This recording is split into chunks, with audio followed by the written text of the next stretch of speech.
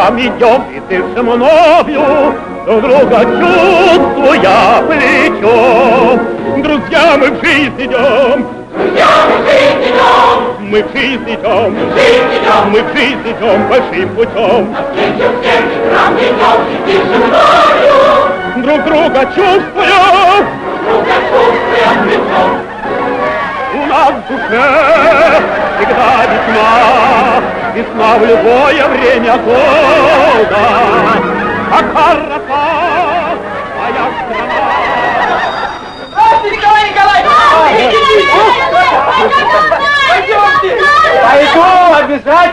Пойду, спасибо!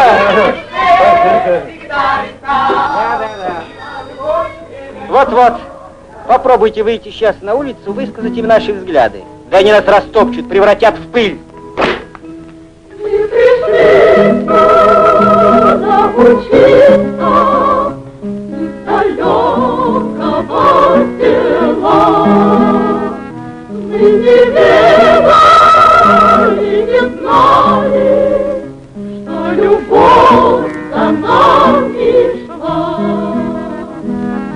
Хотя в любви, конечно, признавать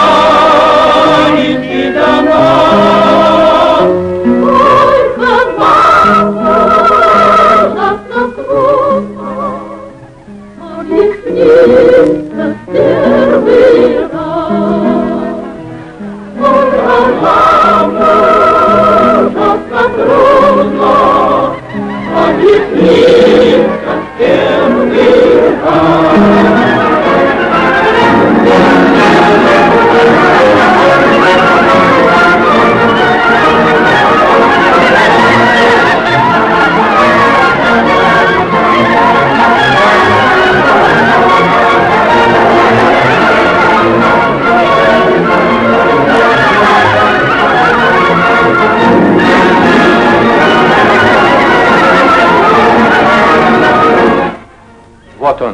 Кто?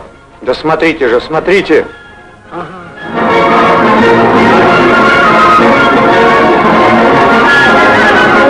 А кто он такой, этот гармаш, что мы должны им так серьезно интересоваться? Да что с вами говорить, мой друг?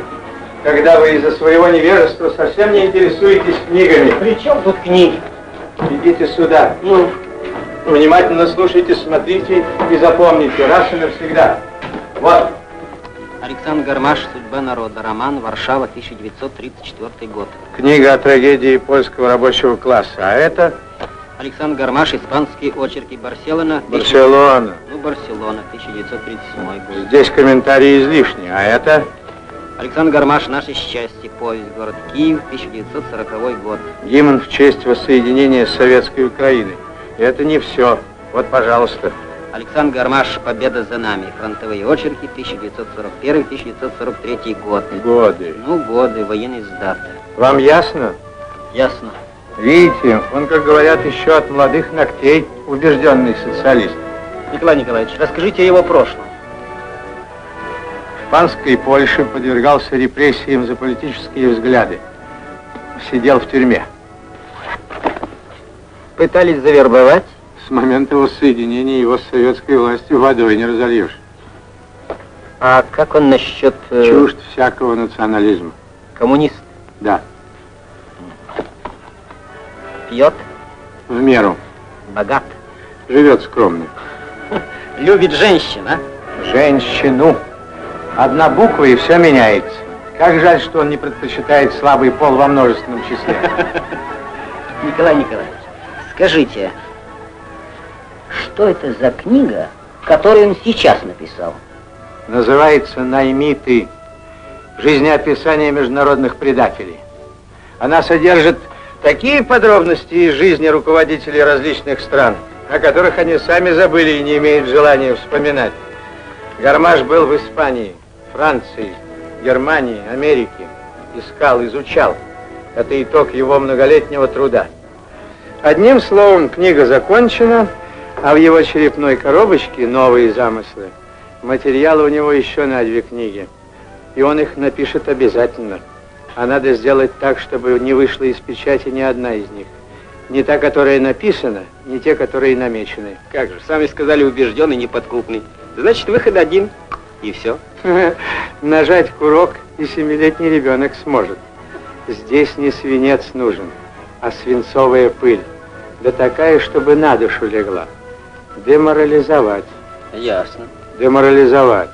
Вы понимаете смысл этого слова? Испортить настроение, перессорить с друзьями и близкими, сделать так, чтобы все ему опротивило, чтобы ручка казалась стопудовой гирей, чтобы отпало желание писать. Вы понимаете мою мысль? Да-да. Ясно. А вы знаете, что они говорят? Ну? Каждая удачная книга – это выигранное сражение. А задержка этой книги тоже выигранное сражение, но не автором, а нами. Мы должны сделать все от нас зависящее. Таков приказ начальника. Ясно. А кто он, а?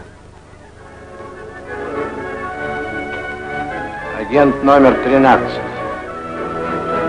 А больше вам знать о нем не обязательно. Я ищу вас целый час! Меня? Нет, нет! Я ищу вас целый час!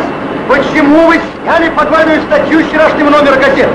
Кто дал вам на это право? Мое дежурство по номеру. Что-что? Дежурство по номеру. Этого мало! А я не согласна со статьей. Это ваше личное дело! Нет, это не мое личное дело. Я заведующий отделом культуры. Статья прошла мимо нашего отдела. Я ее увидел только в полосе. А если я не считал нужным показывать вам эту статью до опубликования в печати, Почему? Разве вы можете быть объективной по отношению к Гармашу? Конечно могу. Не уверен, не уверен. Продолжим разговор у меня.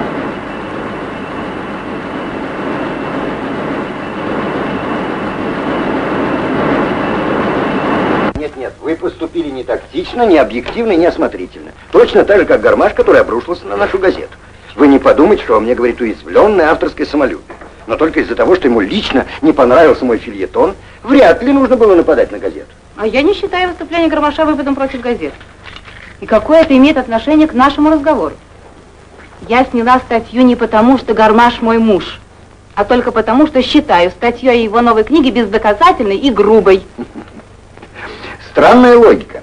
С одной стороны, Гармаш обвиняет нашу газету в мягкотелости. Это когда касается критики других.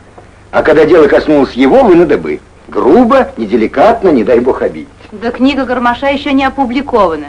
На каком же основании вы поторопились заготовить неразгромную статью, да еще тайком от отдела? А может быть, мы этой статьей убережем читателя от сырой книги. И заставим автора исправить ее. Это полезно. Полезно, и даже нетрудно догадаться, кому. Ну, знаете, вами руководят приятельские и семейные соображения. Если хотите, эти качества несовместимы с работой в редакции. Ах так? Да. Ну, это меня не остановит.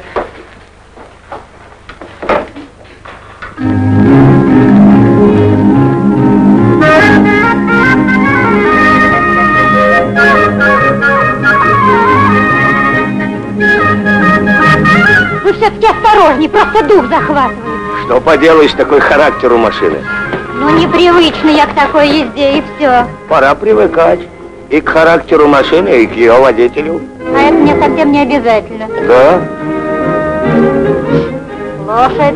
вижу. Вы хоть помните, когда мы с вами познакомились? А что, давно? Да, в тот самый вечер, когда Александр Яковлевич Анне Семеновне предложение сделал. Ну и при чем тут мы? А при том, что они уже годовщину своей свадьбы справляют, а мы с вами все еще на «вы» разговариваем. Ужас, как вы любите скорость. А что ж прикажете на месте топтаться? А ну вас, я лучше пешком пойду. Да, попробуйте. Эй, эй, эй, эй! Эй, эй, ты! Вот это правильно ты! Нет, вы, вы! Вы с ума сошли, что ли? Эй, ой, эй! Ну, сумасшедший, просто сумасшедший! Смотрите, смотрите, ей-богу, мы перевернемся. Это со мной-то с шофером первого класса. И до чего человек нескромный, Родион? А вы нерешительный и к тому же трусливый. Какие-нибудь 80 километров, а не в минуту. Час, и вы уже боитесь. Опять, да? Я же говорю, характер такой.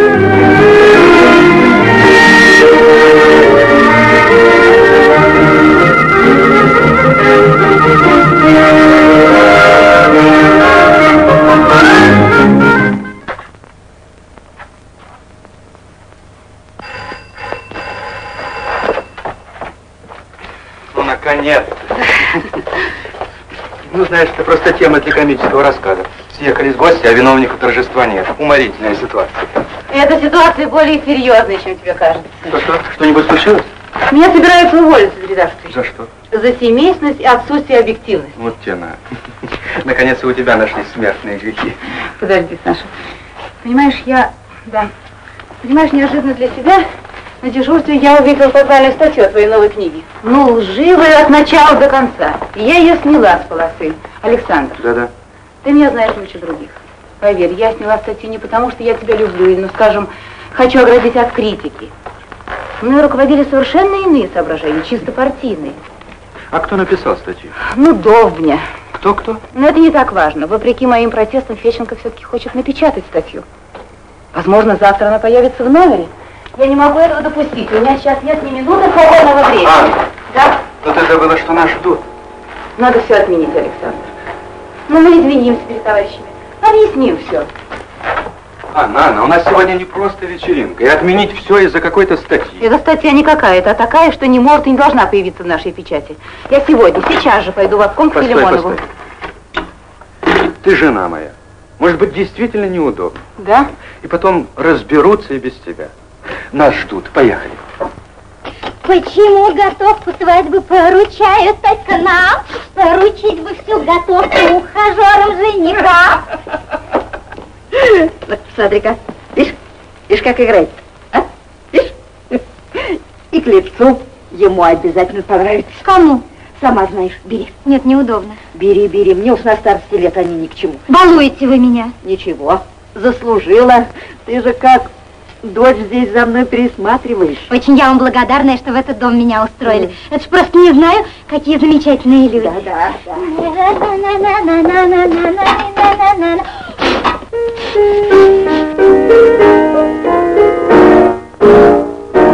Красной армии когда-то я служил солдатом, а золотая выпала нам неравный бой. Был среди нас боец Калуга, так прозвали друга, он от пули прикрывал меня собой.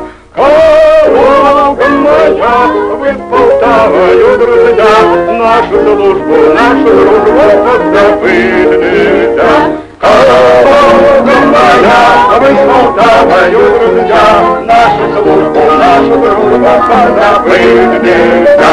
Нам пришлось очень туго, если бы не Калуга, на врага.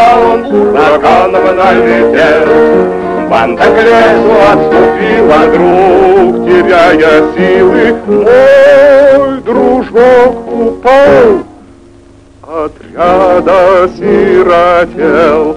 Калуга моя, вы с Полтавою, друзья, нашу службу, нашу дружбу позабыть нельзя.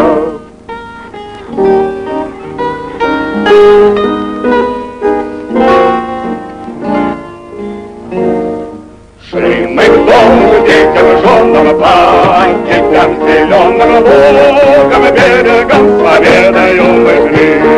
Про Калугу вспоминали, песни распевали, по кругом цветы молдавские цвели. Калугом моя, мы Полтавою, друзья, Наши звуку, наш друг, вот под напыль нельзя. Калугом моя, трудового труда, нашу службу, нашу дружбу позабыли нельзя. Родион, давай-ка ты.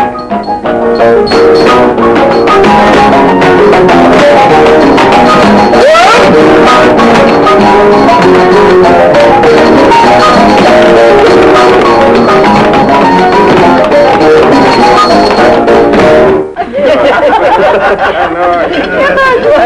Выпьем.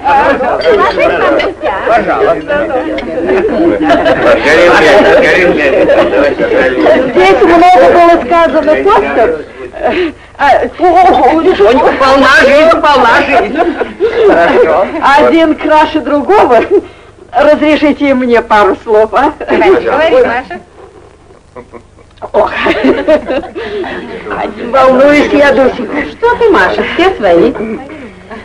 Ну вот, знаю я Евдокию Сергеевну и сына ее Сашеньку, ух, и сына ее Александра не один год, знаю и люблю как родных.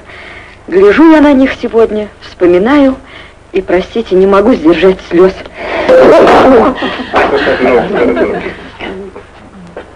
Рано овдовела Евдокия Сергеевна и осталась одна с маленьким Сашей на руках.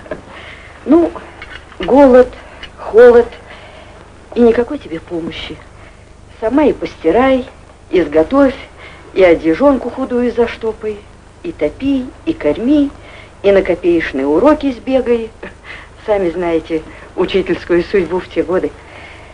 Непосильную тяжесть несла Евдокия Сергеевна на своих плечах, без слез, без жалоб. И вот вырастила сына, дала образование, дождалась счастливых дней, когда стал ее Саша большим человеком. Ну как же не порадоваться ее материнскому счастью? Как же? Маша, что ты? Что с вами, Марья Спиридоновна?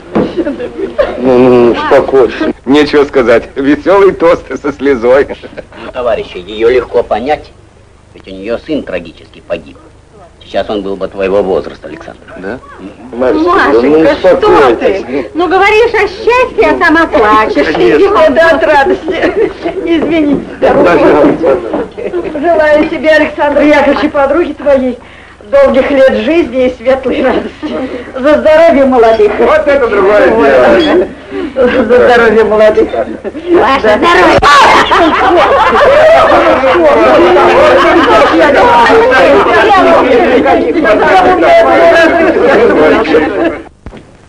Вы понимаете, какая бесцеремонность и бестактность? Здравствуйте, Александр дома? Его нет. Это нестерпимо провинциально и удивительно похоже на то, что происходит у нас в городе. Нередко. Здравствуйте. Здравствуйте. Вы только послушайте. Преподнося советским читателям биографии международных предателей, Гармаш вольно или невольно популяризирует пикантные эпизоды из их жизни, изложенные в духе дешевого детектива. О чем? Что это такое? О новой книге Александра. Почитайте. Черт знает, что такое примитивное рассуждение. Ай, Ай-яй-яй-яй. Но главные выводы, слушайте, выводы. Эта книга не служит делу мира. Она не разоблачает врагов, а? Нельзя в игриво-анекдотическом тоне говорить о тех, кто готовит нам удар в спину. Кто же это писал это? Ну что за черт меня возьми? Фамилия отображает облик автора Довня. И Ларри Довня. Вот почитайте, Действительно, пожалуйста. дубиной действует. Ай-яй-яй-яй. Боже мой, за что? Спокойнее, что? Маша. Никакой беды пока не вижу. Ну, знаете, не надо смягчать, Евдокия Сергеевна. А вот я иначе расцениваю выступление газеты. Я удивляюсь Феченко, редактор, опытный редактор, а черт... Извините, мне некогда, я должен э, идти. Да, Я знаю, где Феченко, я его... До свидания. Сенсация с претензией. Вот именно, вот именно. Черт знает, что такое. Ну нет, я его найду, я его разыщу. Я... До свидания. свидания. Это я так не оставлю. Нет, милый. О, Господи, Господи, Господи. Ишь, как его разобрало. Да и понятно, как тут не озлиться, когда человека ни за что не просто грязью обливают. Ой, боже мой, боже мой. Нельзя в игриво-анекдотическом тоне говорить о тех, кто готовит нам удар в спину. Волнуюсь я за Сашу. И зачем он эту книгу написал? Вот другие пишут рассказы, повести, пьесы. Про плохого директора, про хорошего председателя месткома. Тихо, спокойно. А Саша, что ему больше всех надо? Ты поговори с ним, Люся.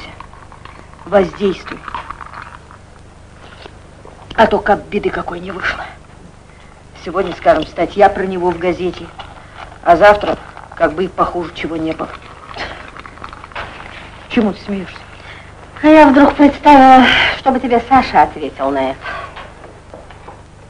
Да ведь я как лучше хочу, чтобы неприятностей у него не было. Одним из методов своей внешней политики они избрали подпольную войну в тылу Советского Союза и стран народной демократии. Они ассигнуют миллионы долларов на шпионов и диверсантов. Они поддерживают и натравливает на нас предателей всех мастей, подлых буржуазных националистов, продававших нашу Украину налево и направо, и панской Польши, и кайзеровской, и гитлеровской Германии. На кого они опираются? Что у них за душой?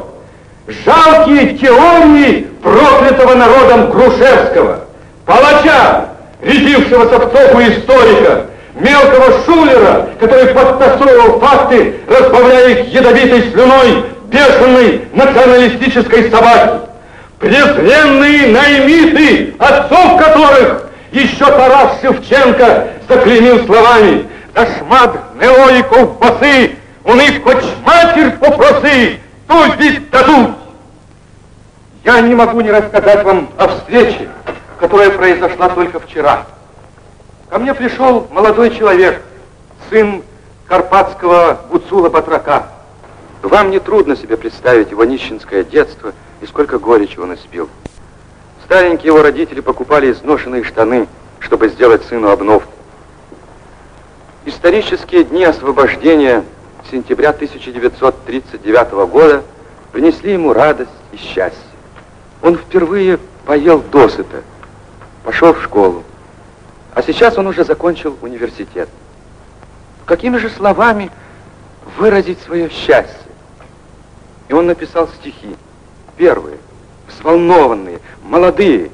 В них была любовь к своей родине и ненависть к ее врагам. И вот ночью, крадучись по селу, к его стареньким родителям пошли двое.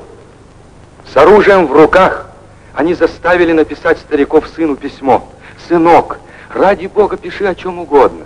О весне, о звездах, о цветах, но только не о борьбе с врагами». И тогда молодой человек понял, какая же сила заключена в его стихах, если враги, угрожая оружием, хотят заставить его замолчать. И он ответил своим родителям новыми стихами. С этого момента он стал поэтом, стал борцом. Вот они, его стихи. Я вас люблю великою любов'ю, бо добре знаю вашу міць і твердь, бо знаю, що за правду ви готові самі піти на муки і на смерть. Ви радите покинуть віршувати, а як не можу, то складать пісні, та не з заліза, а з легкої вати, щоб їм злітати вдалі зоряні.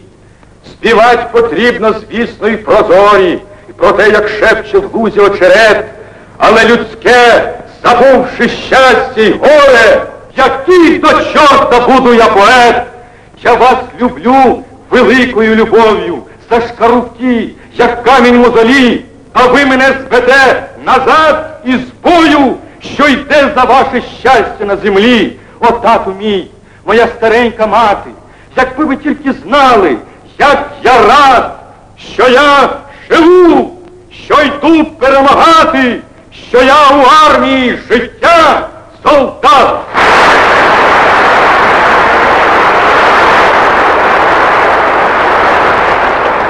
Анна Семеновна, Я? убедительная просьба, выйти, пожалуйста, на несколько минут в фойе. Простите, Антон Васильевич, но... Поверьте, крайне важное дело. Почему наши враги, враги всего трудового человечества боятся новых песен? Потому что слово нашей великой правды рассеивает тьму, объединяет сердца людей. Вот почему поджигатели новой войны боятся коллективного слова борцов за мир.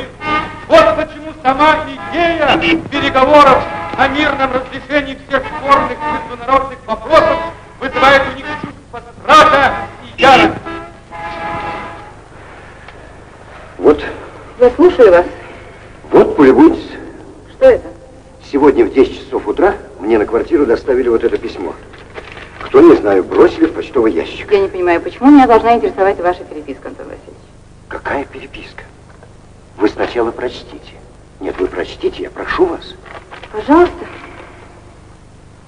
Уважаемый редактор, с удовольствием прочитали в Красном Знамени статью против Гармаша. Разделали вы его, разделали вы его под орех. Вы его проутюжили печатным словом, а мы скоро кое-чем покрепче, кое-чем покрепче. Ваши почитатели. Ваши почитатели. Мы с вами повздорили немного, но вы сами знаете, напряженная работа, чего не бывает. Но только сейчас, получив это письмо, я понял, как вы были правы, Анна Семеновна. Ведь что же получается, меня редактор советской газеты благодарит какая-то сволочь. Простите. Нечего сказать, дожил Федченко на старости лет. Как это называется, Антон? Как это называется, Антон Васильевич? Просто стыдно, честное слово. Я не понимаю, а о чем вы? Не кажется ли вам, что подобная статья не помогает делу, ради которого мы сегодня здесь собрались? Послушайте, вы, вы слишком... Нет, не слишком. Не слишком. Я считаю своим долгом сказать об этом не только вам лично, но и с трибуны этого собрания. Не надо так громко, Всеволод Евгеньевич. Вы знаете, я поражаюсь, Анна Семеновна, как можете вы после появления этой, с позволения сказать, статьи, сохранять спокойствие. Просто удивлен.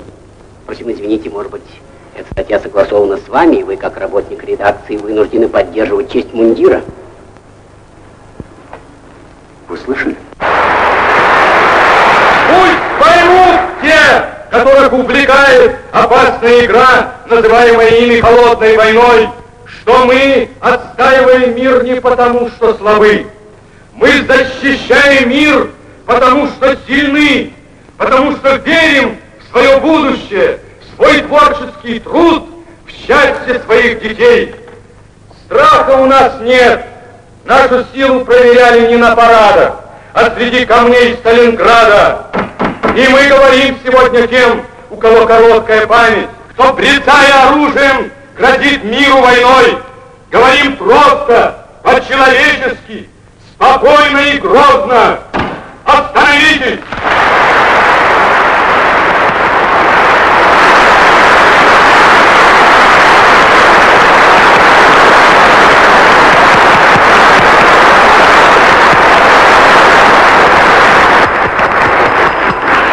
Есть предложение перейти к прениям по докладу товарища Гармаша.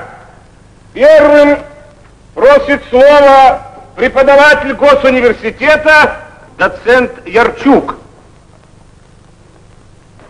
Вы извините, товарищи, я право не знаю, как начать. Быть может, факт, о котором я буду говорить, имеет не прямое, а косвенное отношение к нашему собранию. Но я слишком взволнован и не могу об этом факте молчать. Многообещающее начало, товарищ Ярчук. Что же случилось? Дело в том, Леонид Гаврилович. Вас все слушают. Да, простите. Товарищи, сегодня, правда, с опозданием, поэтому не все еще успели прочитать. Вышел номер нашей газеты «Красное знамя», где опубликована непонятная и странная статья книги товарища Гармаша, которая по своей теме вполне отвечает сегодняшнему нашему собранию. Статья под громким заголовком «Сенсация с претензией». Интересно.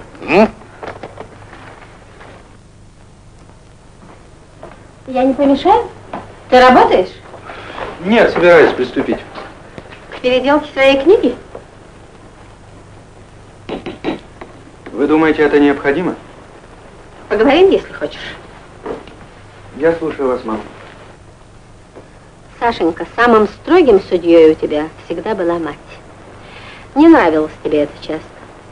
В детстве дулся, в юности отмалчивался, а сейчас, сейчас вежливо улыбаешься. Но, Саша, меня это никогда не останавливало.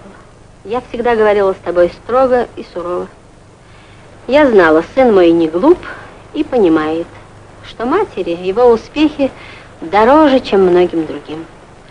Мне показалось, сын, что из-за статьи ты потерял уверенность, и теперь уже не понимаешь, что книга твоя не только полезна и интересна, но может быть очень беспокойна для тех, о ком она написана. Нет, правда. Я уверена, Саша, Ну а почему же вы тогда заговорили о переделках? потому что с тревогой подумала, неужели ты, написавший такую книгу, сам не понимаешь, что написал? Да. Плохо вы обо мне подумали. Плохо. Не я. Анна. Кто? Анна, вот кто. Почему она, советская журналистка, умный, культурный и близкий тебе человек согласилась со статьей. Кто это вам сказал? А как же иначе? Ведь она не рядовой работник редакции, она заведует именно тем отделом, от которого и зависело появление статьи в газете. Появление статьи как раз и доказывает, что это от нее не зависело. Ах так? Ну, слава богу. Ну, Ну, вот видишь, Саша, какая у тебя ворчливая и беспокойная мать.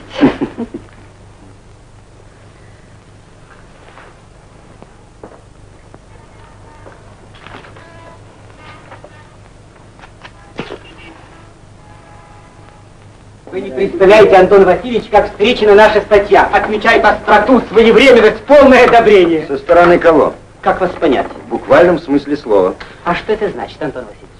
А это значит, что книгу-то книгу никто не читал. Кто же о ней может судить? Видно, только вы один. Где рукопись? Э, какая? Та самая, которую вы так подробно писали, будто прочли по меньшей мере три раза. Да. Что да? Действительно три раза прочли. Я хочу сказать, что я был на обсуждении в Союзе писателей. И что там, резко выступали против? И были отрицательные отзывы. Вы хотите сказать, были и отрицательные отзывы? Антон Васильевич, что случилось? Почему вы придираетесь ко мне? Пасквилянт, обманщик и клеветник! И у меня нервы есть. Не валите с больной головы на здоровую. Статья с вами согласована. Вы же сами настаивали на остром материале. Причем же здесь я? Так чего доброго вы можете врагом меня назвать, под арест подвести, а я не желаю за вас всех отвечать. Не желаю. Интересно, интересно, говорите, говорите. Я вас таким никогда не видел. И не увидите, ноги моей здесь больше не будет. Шарлатан. Да, среди этого кладезя мудрости и несметных богатств человеческой мысли не чувствуешь себя одиноким и слабым. Знаете, я поражаюсь вашей энергией, Николай Николаевич. Неужели вам не надоели бесконечные поиски новых книжных реликвий? Да нет, мой друг, это моя жизнь, этим дышу. А хотите, я вас порадую, Ростислав? Чем? Недавно вы упомянули о том, что слушаете курс лекций об Украине. Да, это меня очень увлекает и волнует. Так вот, роясь в архивном фонде, я неожиданно обнаружил две книжицы. Вот, полюбуйтесь. Грушевский? Да, вы можете в подлиннике ознакомиться с его взглядами, концепцией. Возьмите книги на два дня, но с непременным условием, мой друг, никому не показывать. Даже самым близким людям. Почему? А, Сережа! Еще один мой постоянный посетитель. Знакомьтесь, Сережа. Такой же любитель книжной старины, как вы. Данченко. Мухин. А я вас могу порадовать, Сережа. Неужели достали? Представьте, редчайший экземпляр. Первое издание горьковских рассказов. Николай Николаевич. Ничего, ничего. Я у вас в неоплатном долгу. Простите, Николай Николаевич, спешу на лекции, до свидания. Я тоже тороплюсь. Спасибо. До скорого свидания. Вы покупаете книги. Да-да, покажите.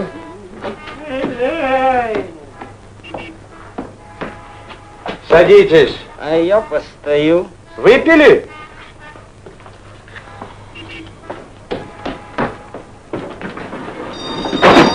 Вы что себе позволяете, молодой человек? А что? Своей трусостью вызвали подозрение. Как вы смели так глупо вести себя у редактора?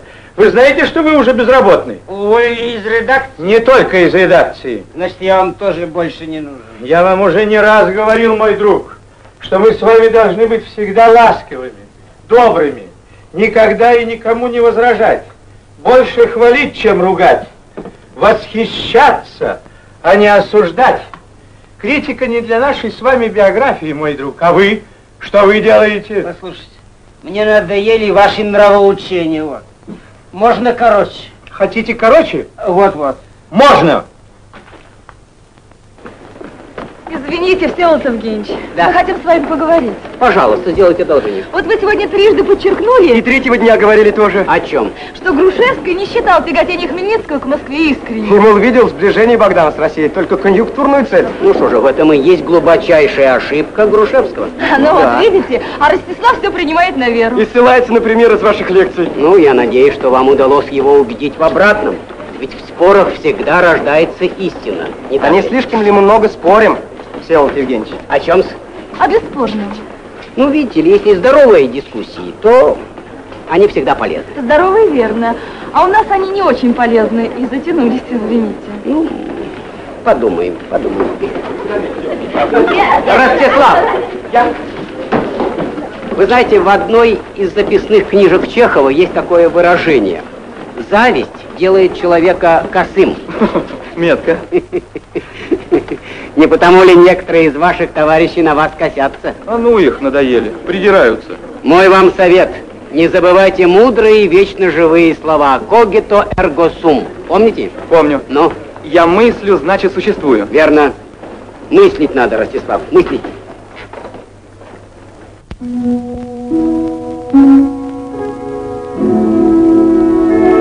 последнее время очень многих удивляет Ростислав.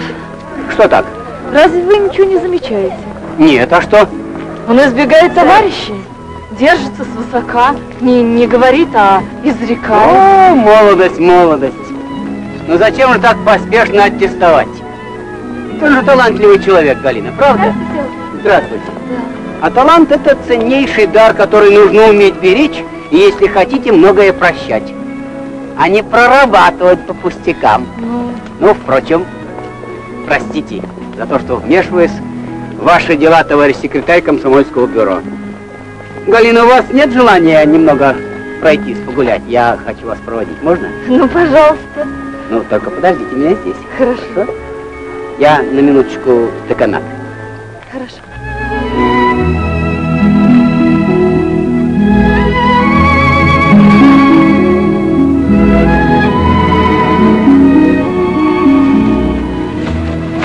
Сяда, Ой, как ты меня напугал. извини. Я давно тебя заметил, но решился подойти только сейчас. Почему? Ну зачем? М? А, Молчишь? Чаще всего ты разговорчив, даже болтлив. опять? Ну к чему такой тон, Галина? Послушай, Ростислав, попробуем поговорить с тобой попросту, ну, по душам. Ну, что там еще? А вот что, ты очень изменился за последнее время. Стал, как бы тебе сказать, вспыльчив, груб и заносчив. Что произошло, а? Так и знал, что ты это скажешь. Ну да, тебе наговорили, а ты, ты поверила. Я вижу сама. Ну что ты видишь? Что ты видишь? Я пишу стихи. Этим отличаюсь от других, а им, очевидно, завидно. Вот мне кажется, Ростислав, что поэт не тот, у кого высокомерный тон. Ведь поэзия, по-моему, это искренность и простота. Хорошо, вот мое последнее стихотворение. Послушай и посуди сама. Так ли уж я плох, как тебе кажется? Оригинально. Я ему о поведении, а он мне о стихах. А это одно и то же, поверь. Ну, не будем спорить. Послушай. Ты мила мне извечной красой, Дым столетий сквозь древние чащи Над тобою идет полосой. Да, с такою я близок с тобой, И такой тебя вижу все чаще, И мне кажется, словно в бреду, Будто Гетман я сын Украины, Будто в бой с булавою иду, а вокруг пепелища, руины, звон клинков, храп безумных коней и бескрайние дымные дали. Я Украину люблю все сильней, вековечную и неизменную. Что, что? Дай-ка я посмотрю. Я Украину люблю все сильней, вековечную и неизменную. Читай, читай дальше. И ничто не сравнится с ней древним, мудрой И и вдохновенной. вдохновенной. Ты зачем это написал? А что? Нет, я спрашиваю, к чему написаны стихи? Ну, Я не профессионал. Пиши, стихи пишу для себя. Хорошо, допускаю. Но ты ведь не пятиклассник средней школы, а студент исторического факультета. И если вдруг написал стихи об Украине, да еще в таком тоне, В каком? Не понимаю, что тебе не понравилось? Содержание, форма? и то, и другое. Гнилые стишки, Ростислав. Хо-хо-хо. Зачем же так грубо? Неужели ты сам не понимаешь, что по такими стишками может подписаться враг? Как не стыдно тебе, Галина, проводить такую параллель. Да, враг, который ненавидит Украину и презирает ее людей. Ну, ну я воспеваю Украину, люблю ее, верен ей. Как же ты можешь? Ростислав, вот ты внимательно слушаешь лекции Ярчука об истории Украины, М? перечисляешь имена ее славных героев и гнусных предателей, но воспринимаешь ее не нашими глазами. Да что ты говоришь? Глазами Грушевского ты смотришь на Украину. Ты с ума сошла. О какой любви ты говоришь в своих стихах? Ну, о какой Украине? Ведь не наша это Украина, не советская. Поешь чужого голоса в тоне бывшего попика из Драгобыча. Кого ты имеешь в виду? Я Степане Бандере. Стой! Не считаю нужным продолжать бессмысленный спор. Ведь не увильнешь, Ростислав. Придется держать ответ перед всеми. За что? За что? За то, что я не такой, как другие? Серенькие люди? Подумаешь, сверхчеловек. Серенький. Ну а что в тебе яркого? Я не Что? привык разговаривать в таком тоне. Я Украину люблю все сильней, вековечную и неизменную, и ничто не сравнится с ней, древней, мудрой и вдохновенной. Поклялись мы на верности с ней, только с ней для нее ты живи. Нет ни ближе, никто не роднее Украины, что в нашей крови. Лишь ее в час раздумий я вижу, чем древней, чем исконней, тем ближе. Вот и все, Александр Яковлевич. Почему же это стихотворение вызвало такую резкую оценку моих товарищей? Вы говорите, нет ни ближе никто, ни роднее. Украина, что в нашей крови. Вот-вот. А Иван Франко, выдающийся украинский писатель-революционер, думал иначе. Русская литература, писал он, пробуждала нашу совесть, пробуждала в нас человека. При едином действии пролетариев великорусских и украинских свободная Украина возможна. Без такого единства о ней не может быть и речи. Надеюсь, вам знакомы эти ленинские слова? Да. В таком случае, может быть, вы вспомните и о том, что Тарас Шевченко восторгался поэзией Пушкина и музыкой Глинки, глубоко чтил Герцена, дружил с Добролюбовым и Чернышевским, и так же, как прекрасная писательница Маркова Овчок, писал и на украинском, и на русском языках. Да, конечно, но... Погодите, Извините. вы пишете о каком-то Гетмане, вне времени и эпохи. А вот что о подлинном Гетмане писал Белинский. Много в истории Малороссии характеров сильных и могучих, но один только Богдан Хмельницкий был вместе с тем и государственный ум. Он был великий воин и великий политик.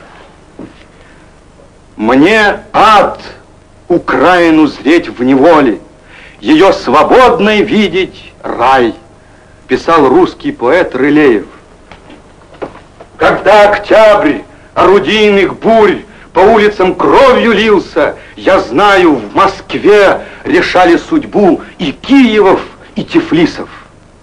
В этих словах великого поэта нашей современности глубокий смысл. Мы знаем, Ростислав, что Москва единственный город в истории, к которому нельзя относиться безразлично. Люди делятся на тех, кто любит Москву, и тех, кто ее ненавидит. Нейтральных нет. Русский писатель Аркадий Гайдар погиб в боях за родину на Полтавщине. Украинские солдаты и офицеры сражались под Сталинградом. А в осажденный Ленинград из далекого Казахстана несли слова Акына Джамбула «Ленинградцы, дети мои! Ленинградцы, гордость моя!» Наконец, не мешает вспомнить о том, что Тарас Шевченко учился в Петербургской академии художеств. Что же касается ваших виршей, уберите с глаз эту бумажонку. Я и дотрагиваться до нее не хочу.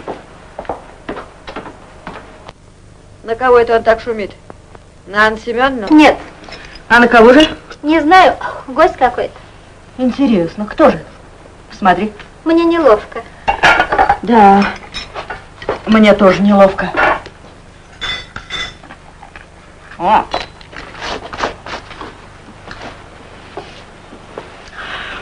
Повздорили мы с Анной Семеновной.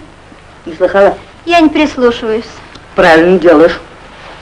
Только вот если в доме спор какой, так это и глухом слышно. Если он прислушивается. Ух ты! Молодчина! Метко ответила. Вот я тебе хочу за это платочек подарить.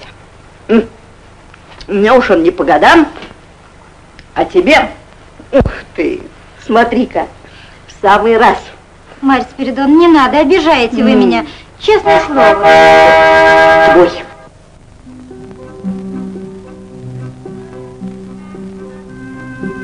Глаша!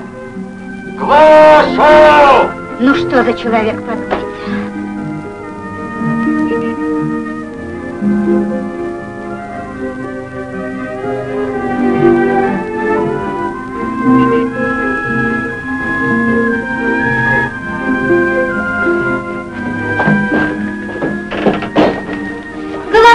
подходит? дальнейшем выясним. А пока здравствуйте. Кричите, гудите на всю улицу. А что, если Александр Яковлевич услышит? Пора бы уже. Два года сигналю. Чего это у вас такое настроение? Случилось что? Да обиделась на меня, наверное, Мария Спиридоновна. Чем же вы ей не потрафили? Неловко мне от нее подарки принимать, садитесь. Конечно, понимаю, она от всего сердца. Да не могу я не по моему от характеру оставить кепку. Какие подарки? Куртку бы сняли, помогаю я ей иногда, так значит, она меня благодарит за Поэтому это. и расстроены. Ай, и его. Конечно, а у вас ко всему нуль внимания. Не ко всему, только к этому факту. Не мужчины же вам подарки дают, чего ж не волноваться. А вообще есть к вам предложение. Тише вы, Я говорю, есть предложение сменить адрес. разбежался. А что, с управдом я уже договорился. Ну, что ж, Кубатура моей комнаты ну и на подходящая. здоровье. Вполне можно прописать еще одного человека. Всю жизнь И мечтала. никаких расстройств. Бросьте шутить. А я всерьез. Погодите. Вот, Красная Москва. Что это? Духи, Ну и что? подарочек от меня. Зачем деньги зря тратите? Не возьмете всю кухню на душу. Давайте уже. Тяжелый характер. Да-да, подходящий.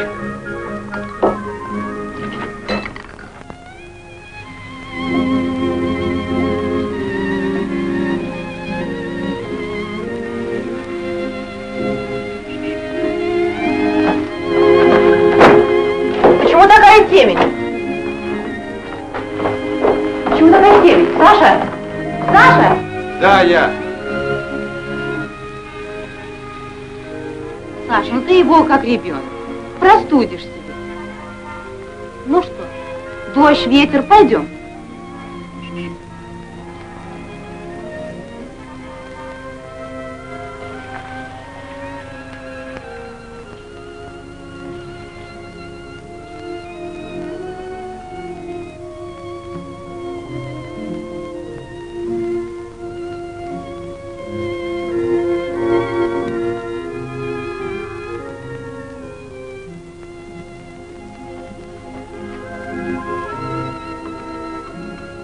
Будешь пить кофе?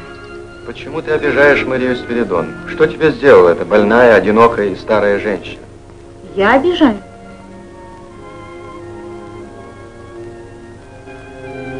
Тебе не мешает музыка? Нет.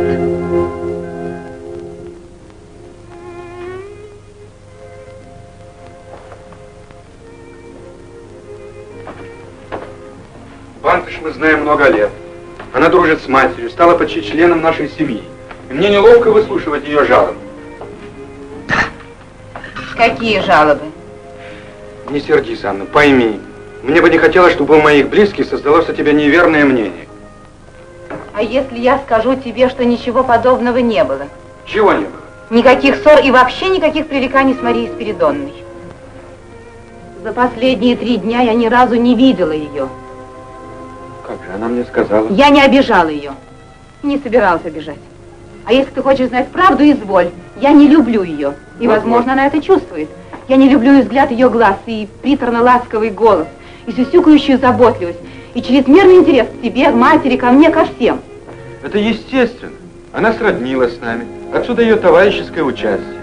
Скажи, пожалуйста, почему человек, обремененный болезнями, далекий от всяких дел, проявляет такой повышенный интерес к своей литературной работе и ко всему, что связано с тобой? Она поступает по праву друга нашего дома. Но я не нахожу в этом ничего предосудить. А я нахожу. Ты по натуре добрый, отзывчивый человек, Александр. Порой ты видишь людей не такими, какие они есть на самом деле, а какими ты хочешь их видеть. Неужели ты не замечаешь, что Бантыш настойчиво хочет поссорить тебя с своими близкими и друзьями? Чепуха! Тебе нужны доказательства, пожалуйста. У меня с ней не было никаких столкновений, никаких ссор, даже больше. Я не говорила ни слова. Почему же она с жалобой прибежала к тебе? Она хочет поссорить нас. Но она просто ревниво относится ко мне. Ну, допустим, допустим, я здесь в чем-то ошибаюсь. Но ты из-за своей доброты не замечаешь и другого, Саша. Чего? Тебе, например, кажется, что речь Ярчука образец смелости и дружеского расположения. Неправда. Я считаю его выступление ненужным. Договаривай, Саша, оно было неискренним, и правильно поступил Коршун, что оборвал его. Я не поверила ни одному слову Ярчука. Да-да. Такое ощущение было и у меня, Анна Семеновна. Но не о Берчуке сейчас речь. разберемся, кто же такой этот Бойко, которому так доверился товарищ Федченко. Антон Васильевич, доложите членам бюро, кто он, откуда, каковы его деловые качества. Ну, словом, что за человек. Он приехал к нам из Драгобыча год назад с хорошими характеристиками. Имеет опыт работы в газете. Где он учился? Закончил литературный факультет Харьковского университета. Харьковского? Да. В каком году? В 39-м. Да, в 1939 Неправда? Почему, Леонид Гаврилович? С 1935 по 40 год я был деканом этого факультета. И знаю в лицо и по фамилии каждого студента. Бойко, как там его, Федор? Да, вот. В их числе не был. То есть как, Леонид Гаврилович? На память свою пожаловаться не могу. Повторяю, Бойко Федор не встречался мне на факультете за все те пять лет, которые я там работал. Хорошо. Допустим, что товарищ Коршун ошибается. И Бойко действительно окончил Харьковский университет. Меня интересует другое. Считаете ли вы, Антон Васильевич, Федора Бойко таким уж талантливым журналистом, чтобы поручить ему написать столь ответственную статью? Почему вы не отвечаете? Видите ли... Разрешите? Пожалуйста. Я никогда не видела, чтобы лиц-сотрудник Бойко писал в помещении редакции. Но весь его облик, стиль поведения, манера высказываться, но не обнаружили в нем не только способного, но даже элементарно грамотного человека. Да. Однако он печатался. Вот. Вот. Вот. Как видите, довольно часто печатался. Как ни странно, но статьи, которые он приносил, даже не нуждались в справке. Немедленно свяжитесь с Харьковским университетом и наведите справку о Бойко Федоре Свиридовиче. Гармаш, Александр Яковлевич, остро критиковал мой фильетон. И вот, тяжело признаться, но ничего не поделаешь, так было. Личная обида... Что-что? Личная обида на товарища Гармаша ускорила появление статьи этого Бойко. Теперь я понял. Это главная моя ошибка.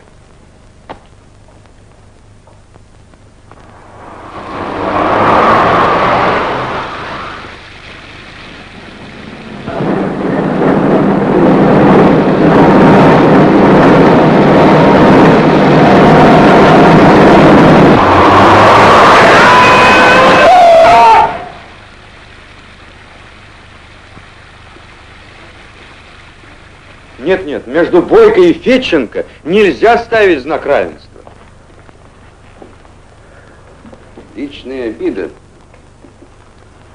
Простите меня за сравнение, но вы, Антон Васильевич, напоминаете мне Гоголевского Ивана Ивановича, который поссорился с Иваном Никифоровичем только из-за того, что тот назвал его гусаком. Да-да. Это не так смешно, как печально. Обрадовался, видите ли, товарищ Марченко. Федченко признал свою ошибку, есть виновный, и нитки конец. Все ясно. А по-моему, здесь далеко не все ясно.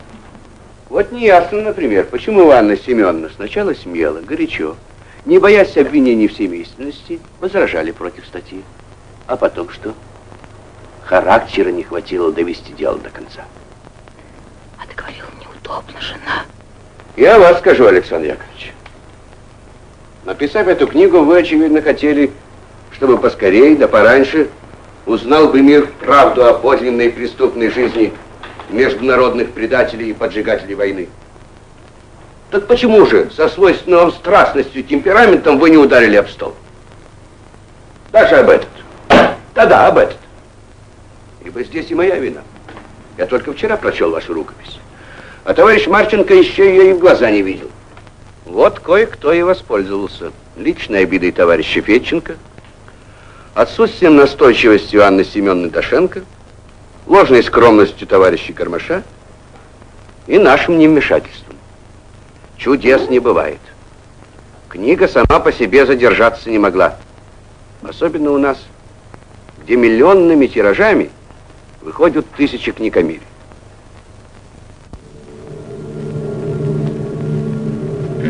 даже девала с машины.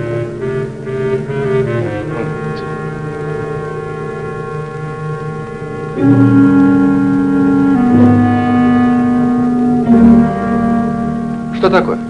Понимаешь, Родион, военный человек, дисциплина и точность на первом месте, и вдруг так оскандалился. Так садись, подвезу. Ну что ты, мне хоть под 60, но я жить хочу. Не бойся, у меня шоферские права второго класса. По знакомству получил. А для спокойствия пешеходов я бы тебе и любительских не дал. Вот, кажется, он.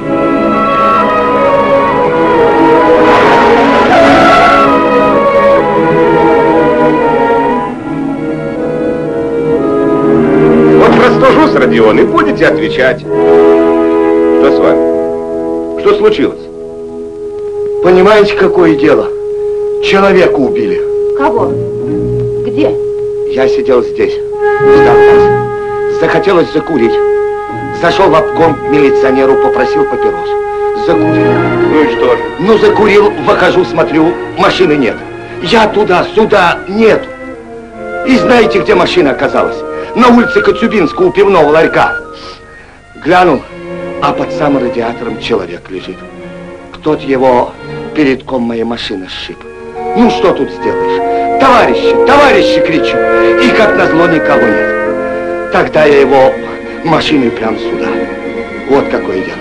А? Кто же, кто убит? Да это как его, который в редакции работает. Леонид Гаврилович, извините, но я вынужден задержать вашего шофера. Так я же... Вынужден. Просто в голове не укладывается. Да, путанные дела, Дусь. Если хочешь знать мое мнение, пока там разберутся и прочее, надо Глашу рассчитать. Зачем? С какой стати? Ну как же, убил или не убил, а сидит в подозрении. А с Глашей-то уж он куда ближе был. Бог их знает, что они там промеж себя-то говорили. Вы не слыхали, а вам отвечать? Давай По городу пойдут слухи, сплетни, разговоры. Начнут на каждом углу Сашины имя упоминать. Неприятно. Но вина Родиона еще не доказана. И потом Глаша столько лет у нас работала, ни в чем плохом не была замечена. Как же это ее вдруг? Нет, неудобно. Неудобно. Я это неудобство, может быть, больше тебя чувствую, ведь рекомендовал ты вам ее я, а теперь советую, поверь, от души для твоего же спокойствия. Рассчитай Глашу и дел с концом. Коля, прошу тебя, зайди. Дай нам слово. Ну пойми, кончается перерыв. Мне необходимо с тобой поговорить именно сейчас. Сию минуту. Слушаю. Галя, ты должна мне ответить на один вопрос. Какой? Ты любишь меня или нет? Ростислав. Выслушай меня. Мне необходима твоя поддержка. Ну-ну. Но вначале я должен знать, любишь ты меня или нет. Ну как ты можешь задавать мне сейчас такие вопросы? Вот видишь, до конца перерыва остались считанные минуты. Ясно, все ясно. Ничего тебе не ясно.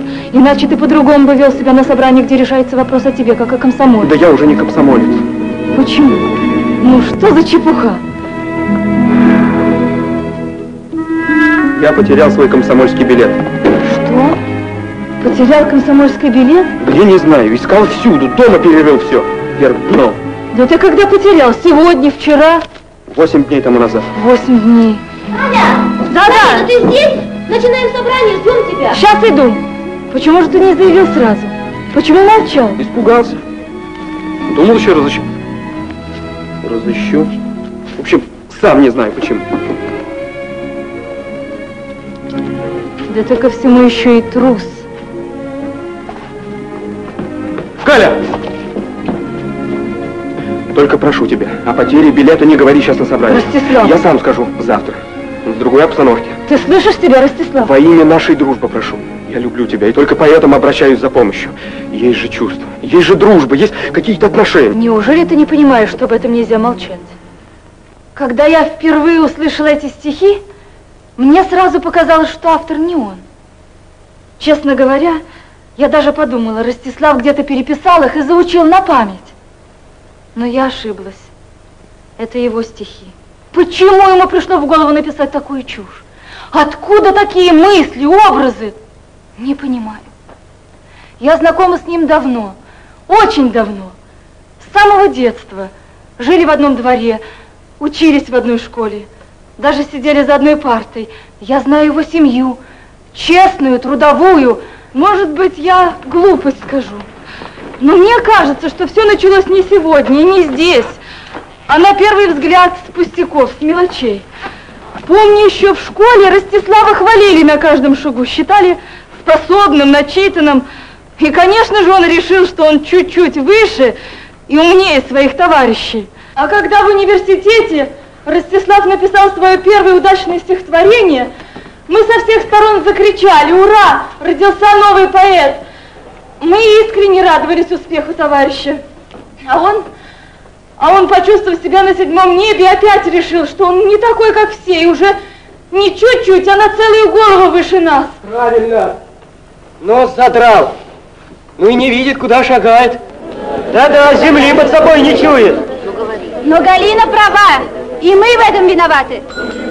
Погодите, погодите, не перебивайте меня. Я дружила с Ростиславом. Если хотите знать, я люблю его. Да, люблю.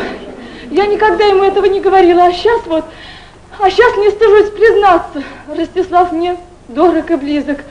И от того мне обиднее и больнее видеть мне, как он изменился. Как дошел до того, что, потеряв свой комсомольский билет, умолчал об этом, утаил от нас. Многим из нас приходилось видеть в музее комсомольские билеты, пробитые пулями, залитые кровью наших товарищей. Они шли в атаку, храня у сердца эти билеты. А ты подумал, где сейчас находится твой комсомольский билет, Ростислав? Поднял его кто, или так он и валяется в каком-нибудь пыльном закоулке? Подождите, я сейчас, мне трудно собраться с мыслью. Галина, мы все очень хорошо понимаем тебя. Разрешите? Поверь, что судьба Данченко нас тоже волнует.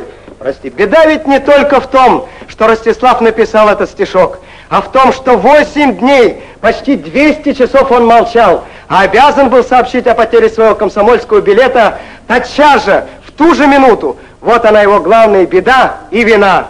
И вопрос, по-моему, нужно решать немедленно и твердо.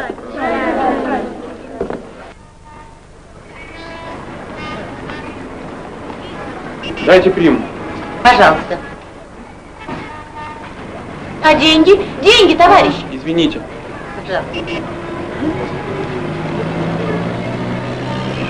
О, добрый день, мой друг. Здравствуйте, Николай Николаевич. Ищу вас как родного.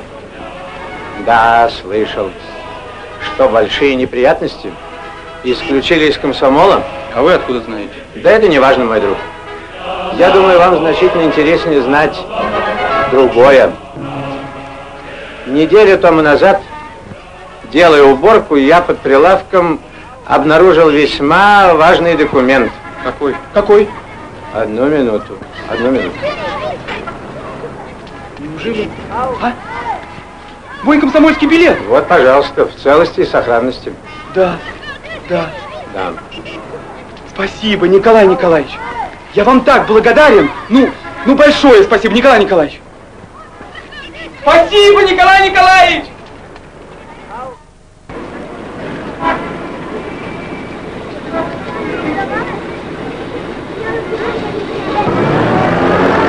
А второй, второй ботинок. Потом. Еще раз здравствуйте, мой друг. Как наши дела? Выговор. Вы сейчас для меня самый дорогой человек, Николай Николаевич. Самый дорогой. Да. Это будет для вас большим уроком. Комсомольский билет надо хранить как зеницу ока. Да. Тяжело все-таки разочаровываться в людях. Кого вы имеете в виду, Николай Николаевич? Хотя бы вашу подругу Галину Коршун. Ведь отшатнулась она от вас в самое трудное время. Кто вы имеете в виду? Ее выступление на комсомольском собрании. Кто вам об этом рассказал? Вы. Я? Своим вопросом вы подтвердили мою догадку. Надеюсь, в дальнейшем вы не будете от меня ничего скрывать. Почему? Потому что надо быть человеком и платить за услугу услугой. Я не понимаю вас. Постараюсь растолковать. Но прежде пройдемте хотя бы вот сюда.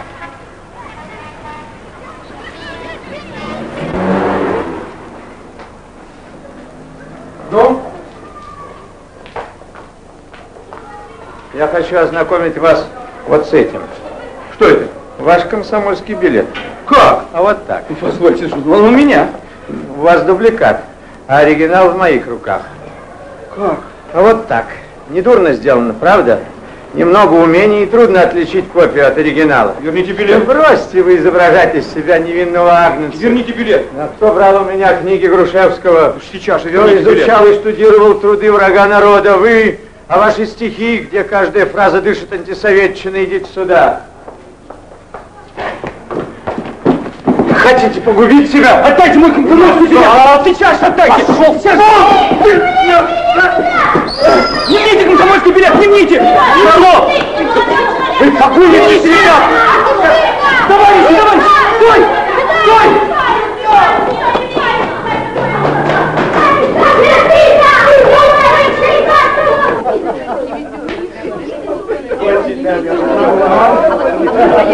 Товарищ! Товарищ! Сейчас! Подождите! Что так? Извините! Шипей, как тебя? Вот, вот мой комсомольский билет. А тот, этот, фальшивка. Что? Обман. Да ты что, с ума сошел? Да. Я сейчас, я сейчас все расскажу. Ростислав, сейчас.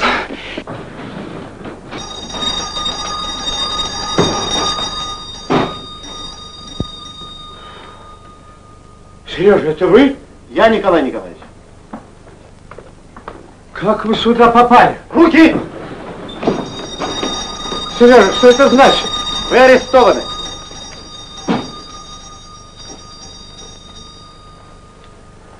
А это чье издание? Понимаю, быть в обкорте 13 дня. Леонид Гаврилович, вы потребовали незамедлительно явиться к вам. Да. Здравствуйте. Я не знаю, какой вы мне подарок приготовили, но я вам уникальный. Представьте себе полный набор пластинок Шаляпина, от Дубинушки до Мефистофеля. На земле весь род людской. Ну, это, знаете, не для моего голоса. Да, вы больше тенарком заливаетесь. Ну, зато у вас бархатные нотки. Очень рад вам услужить, пожалуйста. Сколько стоит? Уникальные, им цены нет. 500 хватит? Ну что что это подарок. Слушайте, Всеволод Евгеньевич, дороже. Что? Дороже стою. Я не понимаю вас. Задобрить хотите, замаслить? Что это, что это? Это грубо. Вы, конечно, тоньше работаете. Я не понимаю, где я, в кабинете ректора университета или я все-таки преподаватель, доцент, и не сегодня, завтра профессор. Сомневаюсь. Почему? Послушайте, Ярчук, вы же не глупый человек. Неужели вы не понимали, что наших студентов невозможно ни запутать, ни обмануть? Что вы, что вы? Каким бы фальсификаторским методом преподавания вы не прибегали? Леонид Гаврилович, Среди сотен нашелся один, и того в ваш актив не запишешь. я протестую, это неслыханно! Лекции, подобные вашим, действительно неслыханное дело в Советском университете. Ну же, я не могу. Я не могу и не буду Леонид Гаврилович, это я... А, это вы, Глаша. Входите, входите. Прошу, садитесь. Я не помешаю? А у меня от людей секретов нет. Что случилось? Забыли, Родиона забыли, а он-то вас так любил, верил вам. И я ему верил и верю. Так почему же никто слова-то о нем замолвить не может? Во-первых, И успокойся. не успокоюсь я, пока Родиона не выпустят, и никто мне не докажет, что он виноват. Правильно, Глаша, правильно. И я сам в этом твердо Ах, убежден. дура, я дура. Звал он меня в жены, я не соглашалась. Вот я ему письмо написала, люблю, верю, спасибо, может, ему немножечко полегчает. И я ему тоже письмо написал. Через кого отправили? Через следователя. Может мне к нему пойти про Родиона все рассказать, какой он человек, посоветуйте, а то, говорят, неудобно, может быть, хуже будет. Кто вам такую ерунду сказал? Бантш, Мария Спиридоновна. Ну, смотри, пожалуйста. Да чепуха. Не верьте, обязательно идите. Спросите Александра Яковлевича, он вам тоже самое посоветует. Да ну его, рассчитали они меня. Кто? За что? Сама не знаю, Мария Спиридоновна сказала. Опять она? Гармаш распорядился. До свидания, я побегу. Я тебе скажу. До свидания. Ой, на какой трамвай ты садишь? На седьмой, что ли? Я не знаю, может, пешком где-то. Рассчитать Глашу, домработницу, это не так трудно. Со мной рассчитаться значительно труднее. Нет никаких доказательств. Я вызывал студента Данченко. Вот здесь. А, понимаю. Вы связываете его заблуждение с моими лекциями. Он вам сам скажет. Слушайте, Ростислав, вы же говорили, что вас мои лекции волнуют, что они вас обогащают. Это же вы говорили, не так ли? Я. Леонид Гаврилович, так в чем же дело? А дело в том, что вы замутили мне голову, разжигали честолюбие, настраивали против моих товарищей. Да давай, дядя. Высмеивали их, говорили, что я, мол, умнее, выше всех, а я дурак, принимал все за чистую монету и как попугай вторил вам. Ростислав, держи себя в руках. Ну где там? Он сжал их кулаки и сейчас же бросится на меня. Позор! Ваш позор не в этом, Всеволод Евгеньевич. А с вами я вообще разговаривать не желаю. Вы дочь ректора университета. Она же дочь ректора университета. Ради бога, избавьте вы меня от вашего семейного судилища. А семья у нас действительно большая, весь факультет. Ну, здравствуйте, дочка. Ну-ка, разреши. Студенты просили передать вам, Леонид Гаврилович, это заявление. Мы отказываемся слушать лекции доцента Ярчука. Вот. И преподаватели тоже протестуют против ваших лекций. Нет, нет, все это не здесь кончится. Вполне возможно. Да.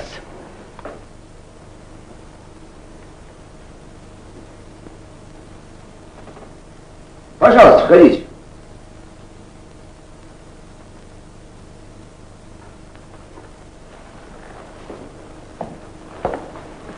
Не беспокойтесь, что вы.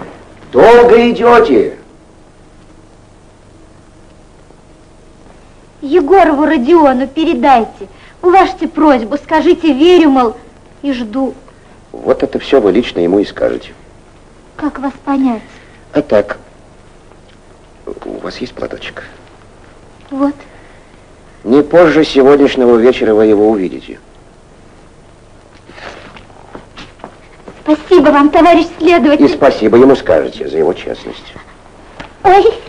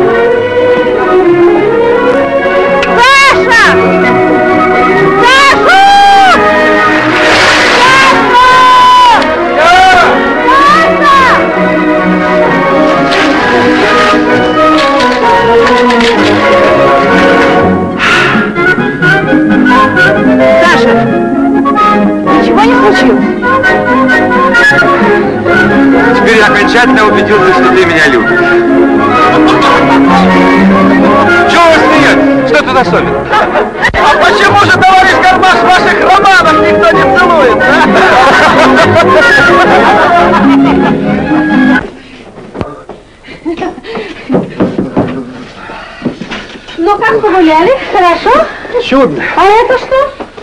Что случилось? Все хорошо, и такие дело. Ходить на лыжах не умеешь, а учиться уж поздно. Не согласен. Нет, он молодец. Вижу, какой молодец. Саша, Саша, Саша, чайку пить будешь, а с мороза хорошо? Хотите знать мое мнение? Ну? Пейте коньяк Армения. Это плагиат, Саша. Нет, реклама. Глаша! Глаша! Где же Глаша? Ее нет, она ушла. Что, разве выходная? Нет, она совсем ушла. Почему? Видишь ли, Саша, мы посоветовались с Марисой Спиридоновной и решили, что сейчас лучше, если Глаши у нас не будет. А что, собственно, произошло? Да я ей просто сказала, подыщи, мол, место себе. Она обиделась, собрала вещи и ушла. А больше вы ей ничего не сказали? Только подыщи место. Да вот Маша слышала, мы вместе говорили. Что же вы еще сказали, Глаша? В общем, правильно говорили, Саш, как надо. Ну, сам посуди. Ухажеры ее посадили в тюрьму. Удобно ли после этого ей оставаться в доме такого видного человека? Глупость! Чепуха! Почему ты со мной так разговариваешь? Я этого не заслужил. Что у вас за манера вмешиваться не в свои дела? Брюзжите, ворчите, тот вам не нравится, этот не нравится. Анна вас обидела. А выяснилось, что это выдумка. За что? За что ты обижаешь старого человека? Как тебе не стыд? Столько лет знакомы, никогда ничего подобного не слыхал. И это благодарность за мою привязанность к вам. Прекрати, Александр! Если твоей жене не нравится моя подруга, то это не значит, что ты должен с ней грубо обращаться. При чем тут жена? Подожди. Разве я вас чем-нибудь оскорбила, Евдокия Сергеевна? Ну, этого еще не доставало. Маша успокоится, но вы за короткое время внесли разлад. Да, неправда! Саша. Мама, вы знаете, я никогда не говорил с вами резко и непочтительно. Не принуждайте меня к этому. Не Анна причина раздоров в нашей семье. Не Анна злословит по адресу Саша. ваших друзей. Подожди! Не Анна подбила вас на необдуманный Саша, шаг. я- Одну минуту! Уволив Глашу, вы поступили, если хотите знать, дурно. Не Анна в этом виновата, а вот кто. Мария Спиридоновна. Саша, не надо, не надо, Маша. Помни, не надо. Кому такие слова? Это мне, мне за мою честь Саша. Мария Спиридоновна, прошу вас больше не заботиться обо мне и не бывать в нашем доме. Что? Как ты сказал? Маша, не могу. Не надо, Маша. Нет, нет, не могу. Не могу больше оставаться в доме, Маша. Для него какая-то Глаша, которую он знает без года недели. Только не нервничай. Оставь меня. Больше, значит, чем я. Что с тобой, Маша? Выпей воды. Ах, Тусенька. Подружка моя дорогая, проводи меня домой. Хорошо, хорошо. Плохо мне ноги, у меня трясутся, не дайте мне. Сейчас. Вы добились своего, Анна Семеновна? Я тоже уйду. Евдокия Сергеевна, не делайте этого. Нет, нет. Евдокия Сергеевна, не уходите никуда. Неужели вы действительно не видите, что нас с вами умышленно хотят поссорить? Мне не о чем с вами говорить. Евдокия Сергеевна, вы мать. Ну кому как не вам дорого душевное спокойствие вашего сына. Ну, он погорячился немного, сказал лишнее, может быть, даже обидел вас. Ну разве не вы, не я, не мы с вами своим участием должны помогать ему в работе? Мне бы тоже хотелось, чтобы он уделял мне больше внимания, но я знаю, что для него в мире существуем не только мы с вами. Я попрошу вас не учить меня. Я не учу, но я уверена, что вы растили, воспитывали своего сына не для того, чтобы сделать его забавой лично для себя, а прежде всего полезным человеком для общества. И вот когда я увидел в руках у этого букиниста свой измятый комсомольский билет, я вдруг почувствовал адскую силу. Эх, жалко, что он удрал. Я влюбил его своими руками. Соль. Какую соль? На столе соль. Я к вам пришел за совет. А я потащил вас на кухню. Ну, я знаю, что вы голодны. Да и у меня сосет под ложечкой. Ну, наверное, не по той причине, что у меня. Перец. Что? На полке перец. Александр Яковлевич, я к вам с открытой душой, а вы меня Да я слушаете. знаю о вас больше, чем вы можете мне рассказать. А тут такое дело. Работницу уволили, мать обиделась, ушла. Жена на дежурстве.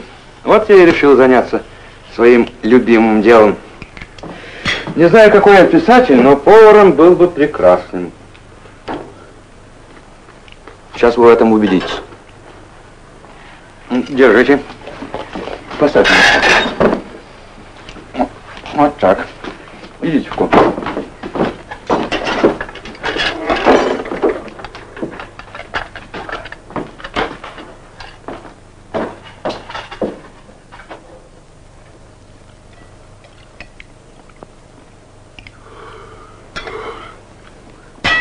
Вкусно? Не знаю. Что? Напрасно вы меня обижаете. Это вы меня обижаете. Ну, вы просто не понимаете шуток, молодой человек. Ну ничего, ешьте, ешьте. Спасибо. Да, все вам легко давалось. С трудностями, очевидно, не встречались. Поверили в какую-то особую свою исключительность и решили, что ваш жизненный путь усыпан только розами. А оказалось, и шипы попадаются. Извините, Александр Яковлевич, но я не за этим к вам пришел. А зачем? Я уже достаточно слышался этих поучительных и осуждающих слов. А от меня вы ждете хвалебных, добрых слов. Нет, я к вам пришел за дружеским советом. Ну что ж, пожалуйста. И я был начинающим писателем. Да ну какой же я писатель? Опять вы шутите. Что-что? Вот сейчас я уже не шучу.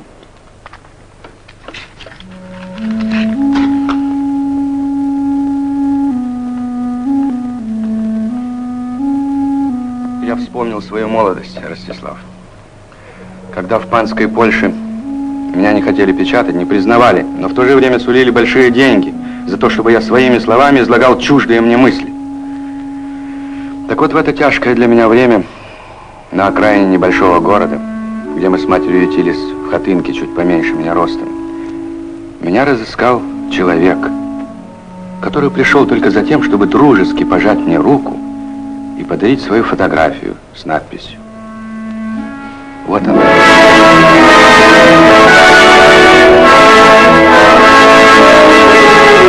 Мой друг Гармаш, вам сегодня трудно, знаю, но приятно сознавать, что ваше оружие и перо страшит врагов. Я сердцем с вами. Владимир Маяковский, 1928 год. Оружие и перо. Спасибо, Александр Яковлевич, за совет. Большое спасибо.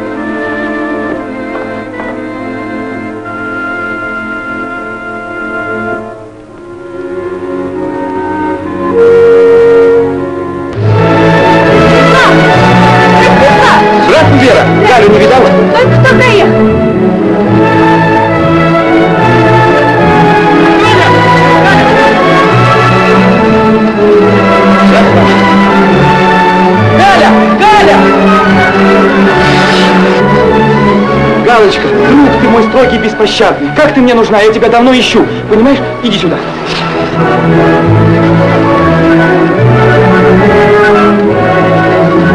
Что произошло? Иди сюда.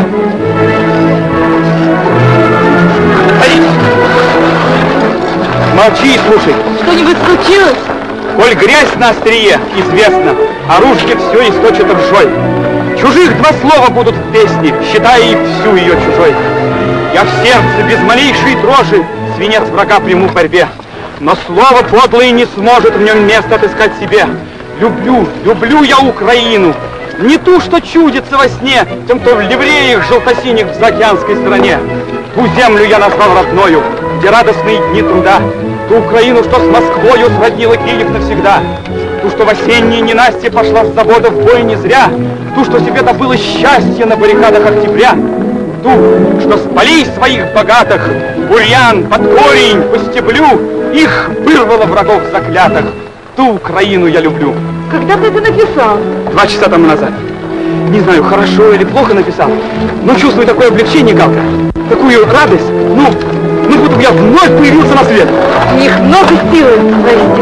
Правда?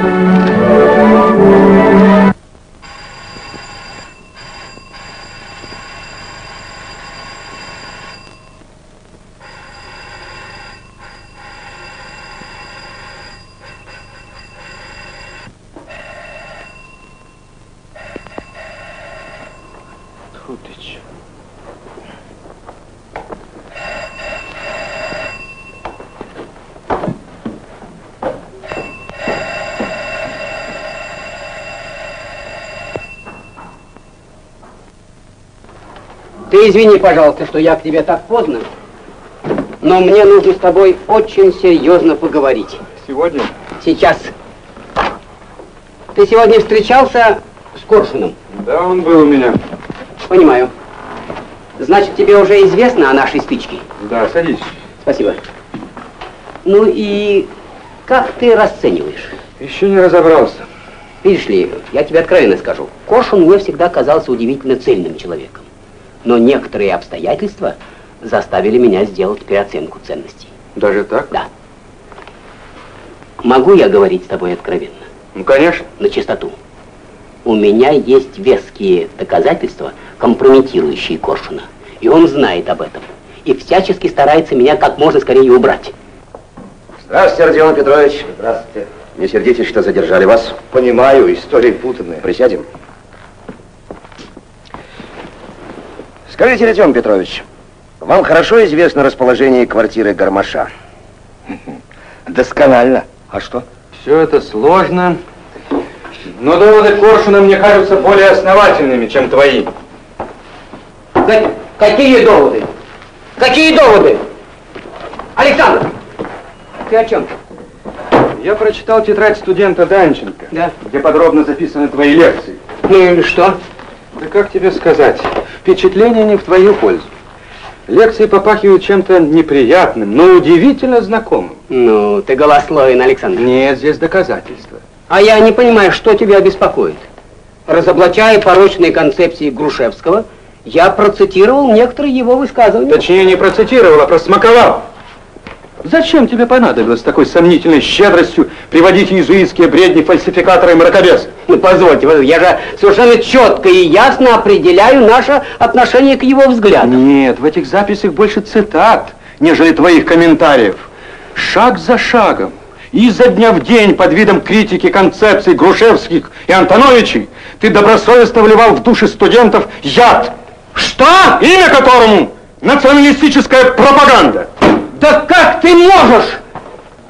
Ну, знаешь, я могу понять Коршуна. Это он заинтересован в том, чтобы меня опорочить. Но ты, Александр, ты... Значит, я прав, если у тебя нет оснований сомневаться в объективности моих доводов. Твои доводы абсурдны, Александр. Пойми, абсурдны. Разумеется, все дано в завуалированной форме. Ни одной формулировки от своего имени. Еще бы! Не доставало, чтобы лично ты, Ерчук, стал сегодня серьезно доказывать, что Киевская Русь не была колыбелью трех братских народов, великорусского, украинского и белорусского, а была только украинской державой, что великий Богдан самовлюбленный эгоист, а предатели Выговский и Дорошенко – воплощение всех добродетелей. Все делается значительно проще. Ты предоставляешь слово Грушевскому, и тетрадь студента наполняется цитатами, отдающими трупным зловонием. Да ты пойми, пойми, что Корш... А Коршу не помолчи, не тебе о нем говорить. А в этом я твердо убежден. Ну, знаешь, это не убеждение. Это заблуждение. Ты прямолинейный, Александр. Скользишь по поверхности явлений. Уверовал однажды, понимая, что дважды два четыре, и с этого тебя не сдвинешь. Я хочу тебе задать вопрос. И прошу ответить мне прямо. Постараюсь. И просто. Постараюсь. Почему твоя книга политически важная, нужная и острая до сих пор не вышла из печати у нас? Ну, допустим, не знаю, что же. А я знаю. Вот посмотри. Что это? Твоя книга. Какая? Александр Гармаш, наймитый, Харлингс. Жизнеописание международных предателей. Что за черт? Где она издана? Вчера прислали из Вокса в нашу научную библиотеку. Видишь, твоя книга напечатана за границей. Каким образом моя рукопись попала туда? А, не знаю. Этого я не знаю. Мне ясно лишь одно, что в то время, когда у нас задерживают печатание полезной книги, ее оперативно издают за рубежом. Одну минуточку. Здесь, между прочим, есть очень интересное предисловие. Вместо того, чтобы создавать художественные произведения, воспевающие радости любви и природу, талантливый прозаик Александр Гармаш должен не по вдохновению, а по принуждению писать книгу, подобную той, которую мы предлагаем нашим читателям. Погоди шаманить, меня не интересует эта галиматья. Да? Однако именно ты своей книгой дал повод написать такое предисловие. Но я же не разрешал, не посылал печатать. Кто это сделал? А как ты докажешь, что это сделал не ты, а кто-нибудь другой? А? Ах, вот оно что. Ты думаешь... Да, думаю. Думаю, что ты не таков, каким хочешь казаться, и великолепно знаешь, что я и ситуацию. Постой, постой, ну-ка в глаза мне смотри. Прямо, ну! Изволь. Пожалуйста. Ты с кем разговариваешь в таком тоне? Кто тебе дал право? Довольно, Александр. Довольно. Будь хоть раз в жизни самим собой. А ты меня разве знал другим? Или надеялся на то, что я могу стать другим? По принуждению. Будь самим собой. Те же мысли, те же слова. Не ты ли автор этого предисловия? Теперь для меня все ясно. Твои надежды не оправдались. Смотри! Вышло раньше, чем рассчитывал ты и твои друзья. Больше того, вот гранки нового памфлета. Что, не ожидал? Думал, что из-за мышиной возни вокруг меня я растеряюсь, замолчу, врешь? Прощай! Стой! Не желаю с тобой разговаривать! Нет, стой!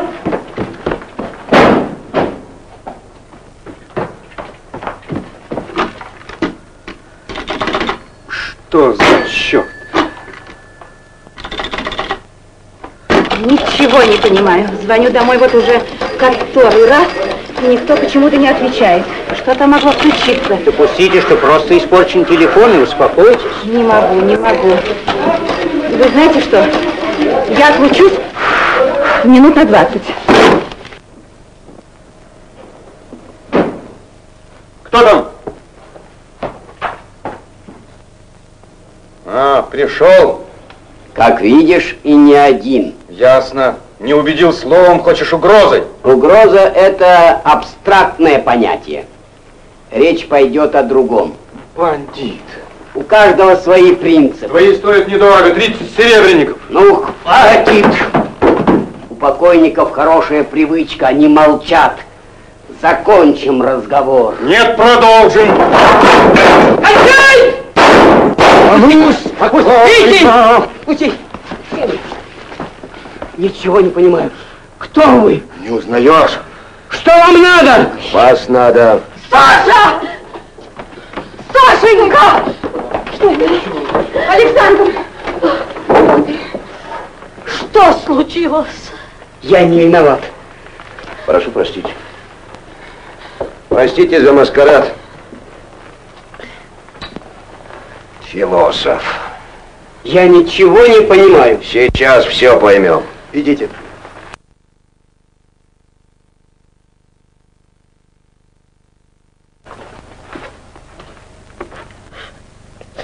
Я старый больной человек.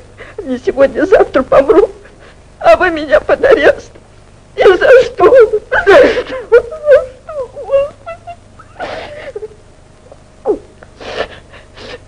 Ну, что же вы мне скажете, товарищ полковник? Виноват, гражданин полковник. Ключ от квартиры Гармаша вы передали Юрчуку? Что? Ключ. Ах, так кто же мог подумать, что Ярчук, приятель Саши Гармаша и друг разбойником окажется? Попросил он у меня ключик, дала. Свой же человек думала. Знаете, ведь приходил в дом запросто. а? Ну разве же я могла знать, что он использует это для своих темных дел? Есть еще одна неясность. Какая же? Как и вы тоже бандит, Николай Николаевич, господи, твоя воля. То что же это делается на белом свете? Старые знакомые. Была, была у него разика два в лавочке, да, только и всего. Ах, только? Да, Саша посылал кое-какие книжки ему достать. Да что же вы против меня-то имеете, Николай Николаевич? Волосы у вас себе, я такой поклеп на людей взводите. Гражданин следователь, вы же убедились, что я от вас ничего не скрыл и во многом помог. А что касается этой женщины, то ничего другого, кроме того, что она ворчливая и вздорная старуха, я сообщить не могу. Нет, вы его к порядку призовите, ишь, как язык-то распустил. Я вам хочу напомнить ваши показания.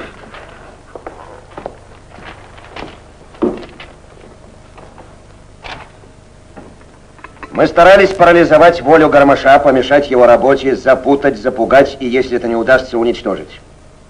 В тот вечер, когда готовилось убийство Гармаша, нам нужно было устроить так, чтобы он оказался в доме один. Мы знали, что жена уходит на ночное дежурство, домработница уволена, оставалось только под любым предлогом увезти из дома мать. Ваши слова. Мои? Уведите арестованного. Ну так а я-то тут при чем? А разве не вы увели мать, предварительно спровоцировав ссору между ею и сыном? Господи, случайное совпадение? Разве ж так не бывает? Бывает, все бывает. Вот. Вот, вот, вот. Вот из Глафира Евчеренко, домработницы Гармашань. Неловко как-то у вас получилось. А что, что? Сейчас услышите. Ох, Глашенька, Глашенька, как хорошо, что ты пришла. Да Она, подарками меня задабривала, я чувствую, не от души дарит, с мыслью затаенной. Вот она благодарность-то человеческая, да ведь я же тебя на это место рекомендовала, я тебя в этот дом и устроила. Устроила, а потом из кожи вон лезла, чтобы из меня свою наушницу сделать, подбивала меня, чтобы я подслушала, подглядывала, ей передавала. Господи. Понятно. Все. Все. Свободно, товарищ Овчаренко. Ну, если я живу чужими интересами, какой же тут грех? Ведь я же человек одинокий. Ну, говорят, говорят, что характер у меня нестерпимый. Так разве же это преступление? Если только характер, нет. Ну да в чем же моя вина? Да в чем? В чем? В чем? Успокойтесь, выясним. Обязательно выясним. А пока прошу вас пройти в соседнюю комнату.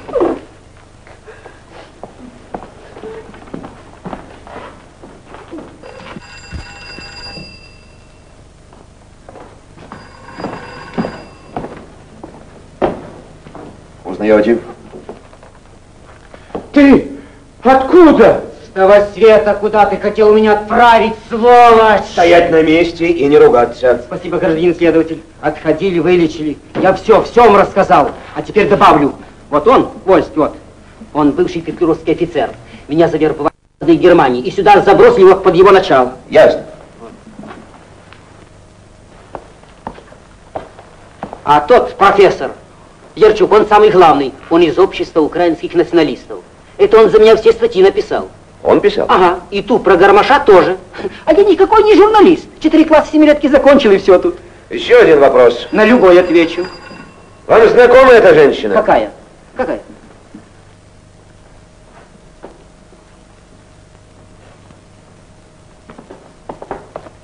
Нет, первый раз вижу. Отвечайте честно. Клянусь, не знаю эту женщину. Не видел, ничего не могу сказать. Ну, ясно, нам просто не доверяла. Уведите арестованного. Господи, и за что это мне? За какие грехи-то? Господи, Господи, Господи! А вы, верно, в Бога сильно верите? Сколько раз я уже помянули. И в приметы всякие верите, правда? Ничего удивительного.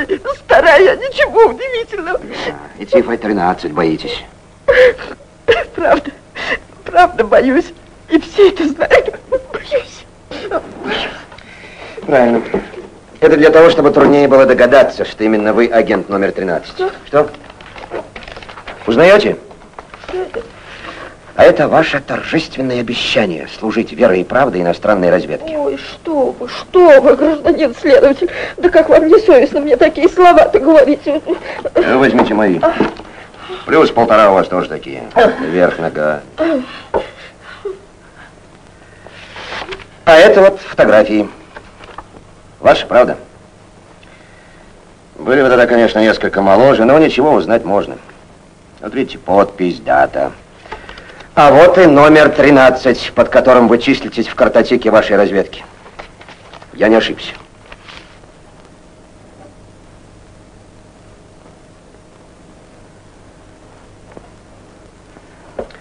Ну, а история с книгой тоже для нас не шарада. Интересно. Издан в одном экземпляре. Цель шантаж, провокация. Масштаб широкий. Как говорится, дирекция не жалеет затрат. Да, там не мелочный, когда дело касается вас. Да, ваше дело кончено.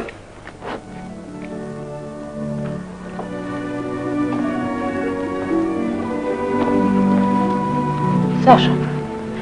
Саша, опять ты всю ночь не спал? Погоди, погоди.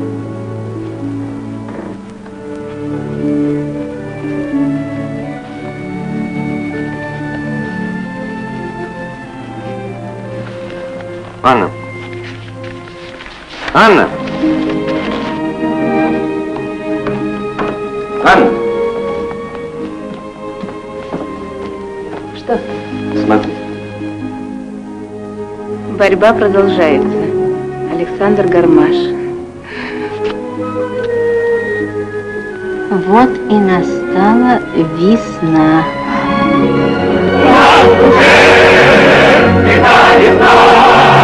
Весна,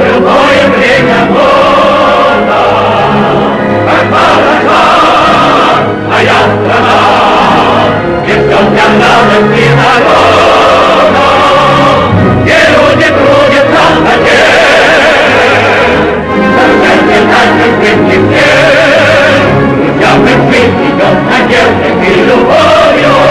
Мирее мир, я мир, да мир весном, навстречу всем ветрам идем, и ты мною, друг друга ждем.